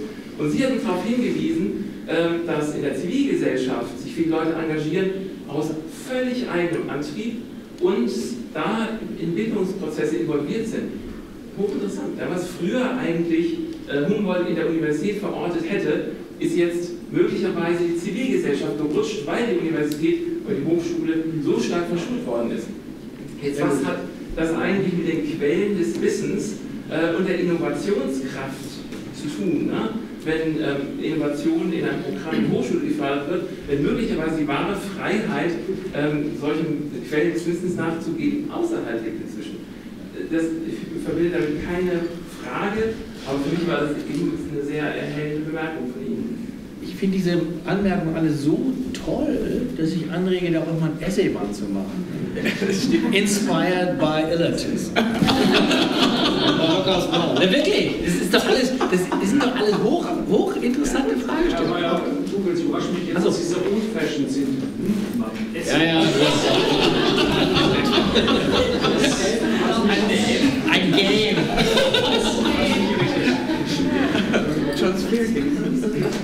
Nein, aber wenn ich hier vorne sitze, frage ich mich manchmal, wenn Sie uns jetzt so sehen, was denken Sie über uns, aber ich will jetzt keine Antwort haben.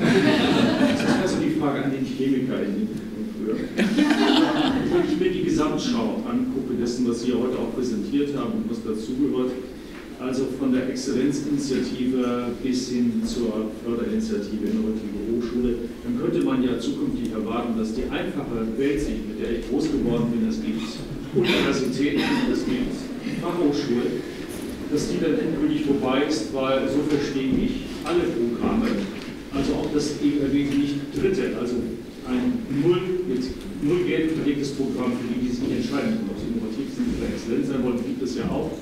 Also wenn wir eine ausdifferenzierte Landschaft haben, verstehen Ihre Programme als eine Anregung zur Profilbildung deutscher Hochschulen. Nicht mehr und nicht weniger, sodass die Landschaft in absehbarer Zeit anders aussehen wird, vermutlich.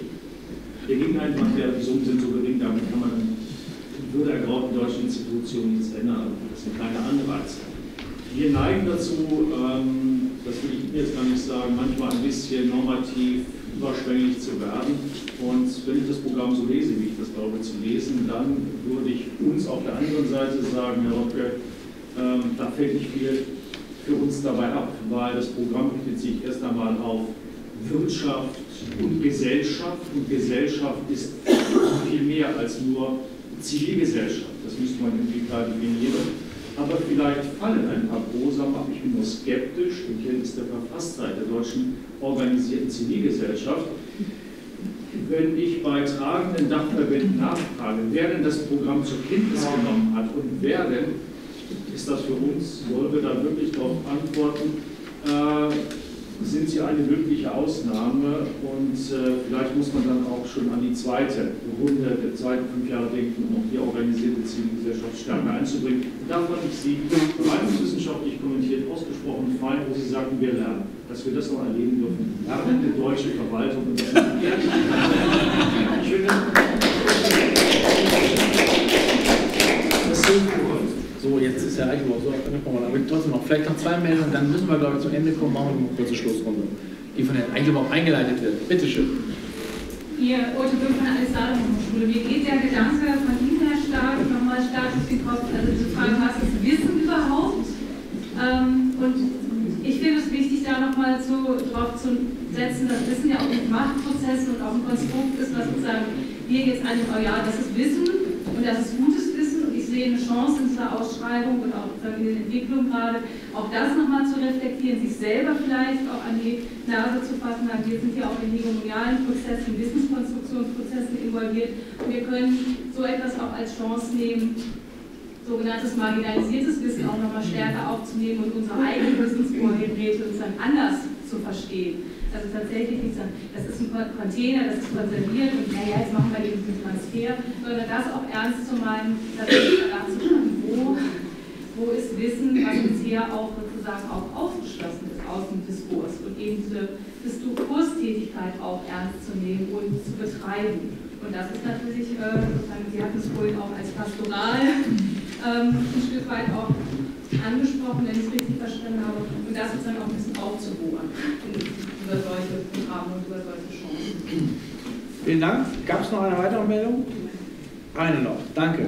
Die letzte. Dann schließe ich an, äh, auch äh, Miesbach, Alice Salomon Hochschule, ich würde wirklich ganz äh, äh, zufällig natürlich an, an das, was äh, meine Kollegin Ute Böhm gerade gesagt hat, ähm, mit der Frage von Machtkonstellation, marginalisierten Wissen, weil das, was Sie vorhin nochmal gesagt hatten, Herr Mayer-Ruppel, mit, äh, mit dem Blick auf freie Wissenschaft und ähm, zu sagen, die Gretchenfrage ist, kann man mit der Art von Kooperation, um die es hier geht, ähm, eigentlich eine Verbesserung in Lehre, in Forschung und in der Gesellschaft erzielen. Wenn es darum geht, fände ich spannend zu schauen, ähm, wie kriegt man es eigentlich hin, also sowohl was Transfer angeht, als auch insgesamt die Organisation von Studium, Lehre, Forschung, Übernahme gesellschaftlicher Verantwortung, dass das alles eine organische Einheit bildet. Und nicht, nicht nur nicht in Säulen zu denken, sondern in den Kreisen, was Sie äh, aufgemacht hatten, sondern tatsächlich, was heißt es, das als organische Einheit zu begreifen? Was heißt darin Freiheit von wissenschaftlicher Forschung? Was heißt darin Kooperation? Und was heißt es, gemeinsam mit Praxispartnern, mit Organisationen, mit Initiativen Professionsentwicklung zu betreiben, die notwendig ist. Und da drin, da komme ich jetzt wieder auf die Frage von marginalisiertem Wissen äh, zu sprechen, auch das da einzubeziehen. Und das fände ich wirklich auch sehr spannend, wenn es gelingt, insgesamt im, im Zusammenhang mit, der, dieser Förderlinie, es geht ja nicht nur um dieses Förderprogramm, sondern insgesamt eine Diskursverschiebung auch hinzukriegen, das äh, wirklich den Fokus zu nehmen, wie kriegt man äh, diese, ähm, ich nenne es eine organische Einheit, weil ich finde, Forschung ohne die Lehre und äh, Lehre ohne das, was in der Forschung passiert, das ist irgendwie, das ist immer so abgehackt und äh, da, da, da, fehlt was. Wie kriegt man das tatsächlich hin, das äh, sowas wie inter- und transdisziplinär und Studiengang zu übergreifen, wirklich mit Leben zu füllen und auch das wirklich ernst zu nehmen und dann heißt es genau das, was ist marginalisiert und das auch freizunehmen und auch da selber von zu lernen. Also wirklich, wirklich raus aus der Einbahnstraße. Vielen Dank. Ähm, wir haben einige Fragen noch gesammelt, einige Kommentare. Äh, und ich würde einfach sagen, was immer Sie noch zu sagen haben, jetzt haben Sie die Gelegenheit dazu. Herr Genau, ich kann ja vielleicht so ein paar Sachen äh, aus, dem, aus dem Publikum nochmal aufgreifen. Also das mit der Hightech-Strategie und mit dem Namen, das äh, ist, ist auf jeden Fall angekommen. Das ist auch schon vorher angekommen, aber äh, da denken wir drüber nach. Ähm, dass wir es trotzdem noch als Transfer bezeichnen, ähm, hängt einfach damit zusammen, dass wir natürlich auch all die Akteure, die halt bisher Technologietransfer machen, halt auch mitnehmen wollen. Wenn wir, es, wenn wir es anders, also wenn Sie mal auch genau nachlesen, was wir unter Transferstrategie verstehen, dann steht da in der Förderrichtlinie äh, Strategie der Interaktion mit Wirtschaft und Gesellschaft. So. Ähm, wenn wir das aber so genannt hätten, hätte ich wetten können, dass viele und Sie sprechen dann Ihre Transferstellen an, an den Hochschulen, dass Sie dann sagen, ja, dafür sind wir ja gar nicht zuständig. Und das, das wollen wir. Wir wollen nicht zwischen, zwischen technologischen und nicht technologischen Transfer äh, künstlich differenzieren und dort irgendwie zwei Welten und Doppelstrukturen und so weiter schaffen. Deswegen ähm, lassen Sie uns den Weg sozusagen gemeinsam äh, fortführen, dass wir diesen, diesen Transferbegriff entsprechend ähm, weiterfassen. So. Und wenn wir da irgendwo anders landen, ist es auch gut. Ähm, da muss man natürlich aufpassen, dass die innovative Hochschule jetzt nicht Projektionsfläche für alles wird. Also wir, es ist immer noch so viel, ist viel Geld, aber es ist trotzdem auch begrenzt. Und auch Lehre ist, ist wichtig und ich habe ja auch gesagt, äh, Transfer auf den Schultern von Forschung und Lehre. Wir haben uns aber hier mit den Ländern nun mal äh, geeinigt, dass es hier erstmal darum geht, forschungsbasierten Transfer zu unterstützen. Also das ist, es ist halt ein Stück, es ist klar, das ist, ist nur ein Teil, das wird jetzt, wird jetzt gefördert für die Lehre. Es gibt Qualitätspakt-Lehre, ähm, auch so für zum Thema Differenzierung. Also es gibt, gibt auch viele Programme des Bundes und der Länder, äh, die halt auch wirklich sehr stark in die Breite gehen. Hochschulpakt, Qualitätspakt-Lehre, qualitätsoffensive Lehrerbildung und so weiter. Ähm, und hier setzen wir jetzt am Impuls äh, in Richtung Transfer, Innovation, dritte Mission und so weiter an Hochschulen. Dann die Frage nach dem Namen Innovative Hochschule. Dass dann die anderen Hochschulen nicht innovativ sind, das, das haben Sie gesagt. Ne? Also das ist äh, Ihre Assoziation. Ähm, wir sehen das anders, sondern äh, wir haben auch andere, andere Maßnahmen im, im Referat wie Spitzencluster-Wettbewerb und sehen da einfach eine ganz große Mobilisierungswirkung, auch bei den Akteuren, die nicht gefördert werden oder vielleicht auch nicht in der ersten Runde gefördert werden. Es sind auch alle eingeladen. Also ich habe auch gehört, dass bei der Antragstellung schon dadurch, dass man sich zusammensetzt, sich eine gemeinsame Transferstrategie gibt und so weiter, dass dort ganz viel mobilisiert wird, man redet miteinander, man denkt äh, darüber nach. Auch selbst wenn man die Förderung nicht bekäme, hätte das einen Mehrwert. Und ich glaube, das ist auch nochmal ganz wichtig, äh, das zu betonen. Ähm, denn die Frage Gesellschaft, äh, wie viel, wie viel, das haben Sie, glaube ich, gesagt, äh, kommt da eigentlich, äh, wie viel Brosamen und so weiter fällt für die ab. Ähm, also ich muss zugeben, es ist für uns auch immer nicht so einfach, ähm, genau zu definieren, was ist jetzt unter Zivilgesellschaft zu verstehen, welche, welche Akteure sind das denn konkret und wir definieren das ja auch nicht. Also wir erwarten einfach, dass die Hochschulen ihre Partner kennen, ihre Partner mit ins Boot holen, auch uns gegenüber bekannt machen, sozusagen. Dass wir halt sehen, aha, das ist jemand und dort und so weiter. Also ähm, auch das ist äh, auf dem Weg, auch da lernen wir hinzu. Und vielleicht letztes Wort, äh, ich würde mir wünschen, dass wir da einfach auch, auch gelassener über dieses Thema diskutieren. Auch nicht so dieses, dieses Schwarz-Weiß-Denken, äh, wenn jemand wissenschaftlichen Transfer macht, dann macht er automatisch äh, schlechte Grundlagenforschung. Oder, also dass wir, dass wir uns da auch nicht äh, im Kopf schon, schon so, so einengen. Und, und, und das, ich meine, die theoretischen und sozialwissenschaftlichen Diskussionen sind alle wichtig, aber letzten Endes, ich glaube, jeder Wissenschaftler und vor allem, das kommt ja auch immer zu kurz, die Studierenden an den, an den Hochschulen, ähm, die, sind natürlich, also das, das ist die Zivilgesellschaft. Und diese Trennung zwischen Hochschule, Universität, Fachhochschule, wie auch immer, und Zivilgesellschaft ist natürlich irgendwo eine künstliche. Und wenn 50 Prozent eines Jahrgangs im Studium aufnehmen, äh, dann sind all diese Probleme, gute, böse Zivilgesellschaft, äh, all die Herausforderungen haben sie automatisch in der Hochschule drin. Und, ähm, und wenn die, die Hochschulen das auch begreifen ähm, ist das, und, und sich auch ein Selbstverständnis und, und eine Haltung entwickeln, äh, ist das, denke ich, ein ziemlich, ziemlich wichtiger Punkt. Innovative Hochschule kann ja nur einen ganz kleinen Impuls geben. So. Und, aber es ist halt schon mal gut und ich glaube, alle, die hier auf dem Podium sitzen und Sie äh, im, Publikum, sind ja auch bereit, sich dieser Diskussion zu stellen und damit ist, glaube ich, schon äh, viel gewonnen, auch wenn man nicht einem, äh, mit einem übereinstimmt. Dankeschön. Gut, ich möchte aus dem Publikum nochmal insbesondere Ihren Beitrag mit, ähm, oder mit aufnehmen, der sich auch an die Frage der Studierenden und der Lehre nochmal stärker richtet. Ich glaube, auch wenn jetzt im Fokus gerade der Ausschreibung die Forschung im Mittelpunkt steht, das verändert maßgeblich das Verständnis von Studierenden, auch die Partizipation von Studierenden an Forschung, egal jetzt, ob sie Formate forschendes Lernen haben und es verändert ähm, die Studenten in ihrem Blick auf Gesellschaft und in ihrem Verantwortungsbewusstsein. Also meine Erfahrung ist, dass insbesondere durch die Formate, wo Service Learning, gesellschaftliches Engagement mit Forschung verbunden wird, dass da eine erhebliche Bewusstheits- und Engagementstrategie entwickelt wird und nicht umsonst sitzen jetzt ungefähr zehn Studierende auch hier, ähm, die Universität mitgetragen und wo manche Forschungsprojekte auch aus, der, also aus Fragen der mhm. Studierenden entstehen. Und deswegen sehe ich dann nochmal eine Wirkung auch in die Hochschule hinein. Also wenn ich vor, äh, vor zehn Jahren, oder sagen wir vor, vor sieben Jahren, 2009 ist das Hochschulnetzwerk gegründet worden in Würzburg, äh, wenn ich da gefragt worden wäre, dass wir über eine äh, Förderinitiative des Bundes diskutieren in der Größenordnung zu dem Thema, äh, dann hätte ich gesagt, niemals.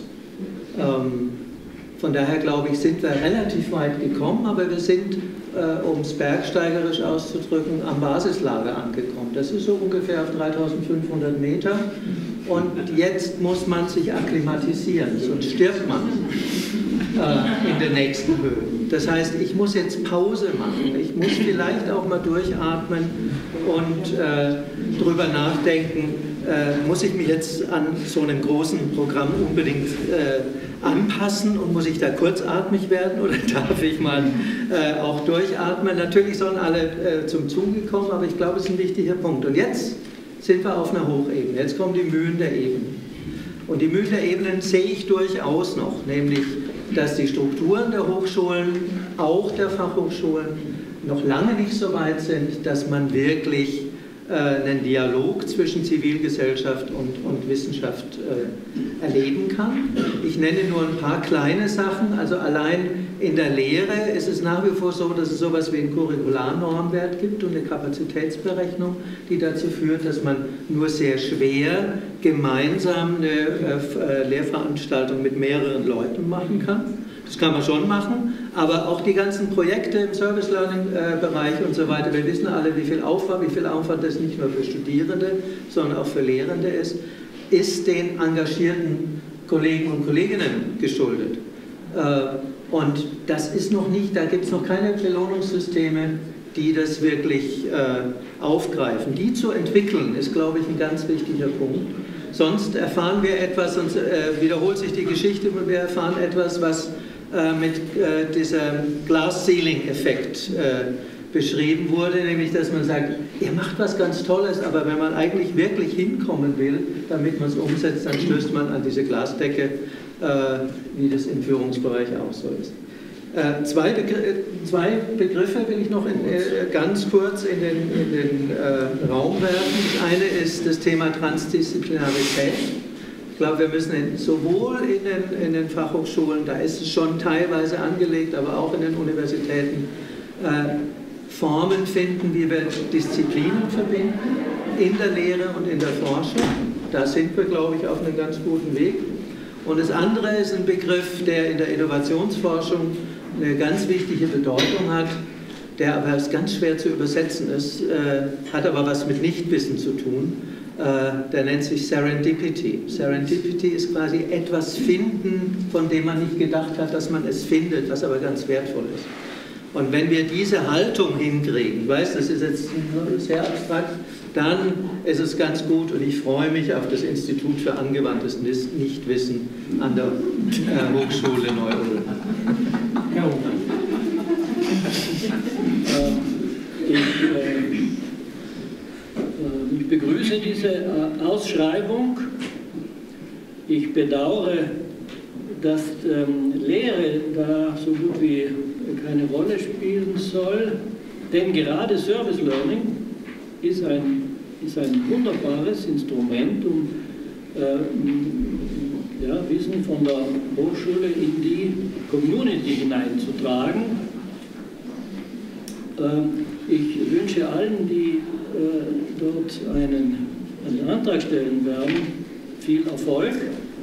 Und ich wünsche mir, dass es so etwas gibt wie eine Bonhoeffer-Gesellschaft, die so ähnlich wie Fraunhofer-Gesellschaft Institute für die Humanität, äh, ähm, der Erforschung der, der Verbesserung des ähm, menschlichen äh, Seins ähm, dienen. Das wünsche ich mir. Das wäre sozusagen der Endpunkt ja, äh, dieses, äh, dieser Ausschreibung. Ich habe hier mal Bonhoeffer.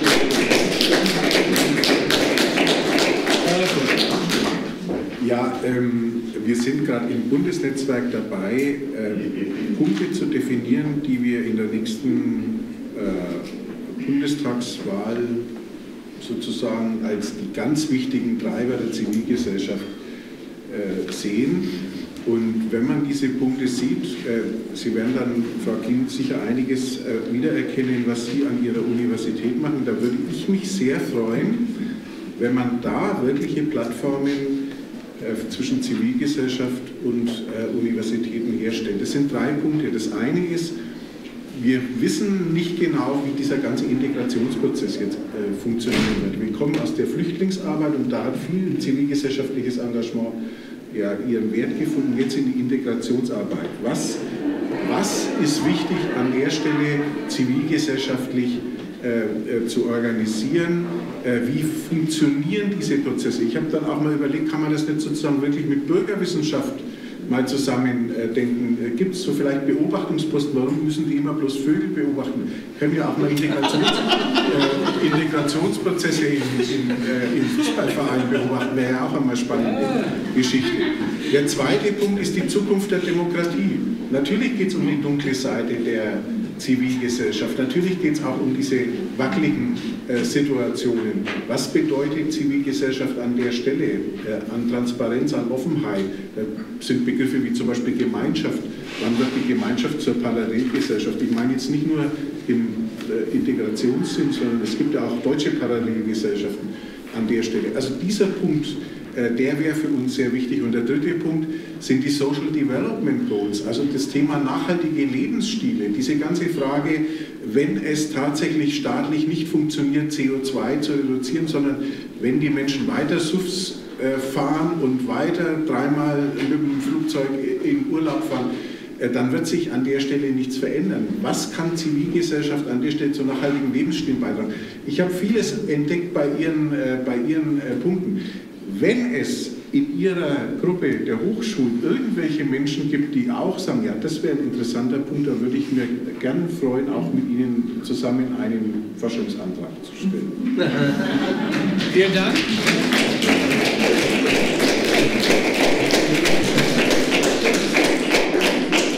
Ich betrachte das schon mal als vorweggenommenen Schlussapplaus. Äh, lassen Sie mich noch sagen, dass ich die sehr, sehr inspirierend fand. Also, ich fand es eine tolle Diskussion. Ähm, wir haben viele Fragen offen gelassen, die noch nicht beantwortet sind. Zum Beispiel äh, die Frage von Herrn Hofer nach, was ist eigentlich relevante Forschung? Wie misst man das eigentlich? Sie haben das auch gesagt, für die Impact-Frage, wie man das eigentlich beschreibt und bemisst, da haben wir noch nicht viel. Wir, wir beschäftigen uns damit auch in unserem Netzwerk. Also wer sich da näher auch nochmal äh, dafür interessiert, wie man Impact Stories oder Kennziffern oder was auch ich, was auch immer man da ähm, entwickeln kann, ähm, äh, ähm, äh, wie, wie, man das, wie man das überhaupt entwickeln kann, der, der sollte sich da mal äh, andocken an diese Diskussion. Ja? Wir werden ja auch da ein Tool entwickeln.